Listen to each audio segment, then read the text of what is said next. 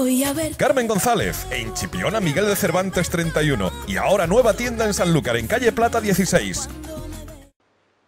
La implantación del plan de optimización energética puesto en marcha por el Ayuntamiento de Sanlúcar para sustituir las luminarias tradicionales por luces LED y de bajo consumo tiene ahora como escenario las calles del núcleo histórico del Barrio Alto, como son las calles Trillo, Santiago o Caridad, entre otras, donde se está efectuando en esos días el cambio de luces.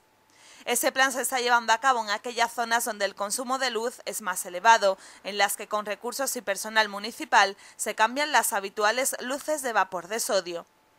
El nuevo alumbrado público se controla mediante un sistema de telegestión que permite acceder desde un dispositivo informático a cada uno de los equipos autónomos que se han instalado, indicando su consumo y averías. En los lugares donde la instalación es más antigua, los operarios municipales están sustituyendo las farolas tradicionales por luces LED y las más actuales por equipos autónomos. En las zonas urbanas se utilizan lámparas y luces de luz blanca, mientras que en las grandes avenidas y accesos a la ciudad las luces son de sodio.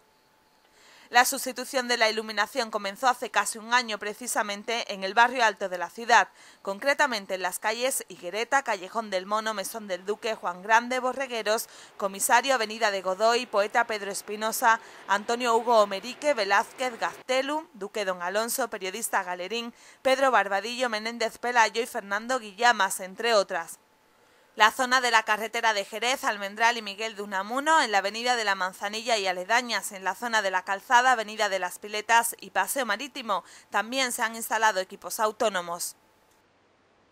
Hoy voy a ver. Carmen González, en Chipiona Miguel de Cervantes 31. Y ahora nueva tienda en Sanlúcar, en calle Plata 16.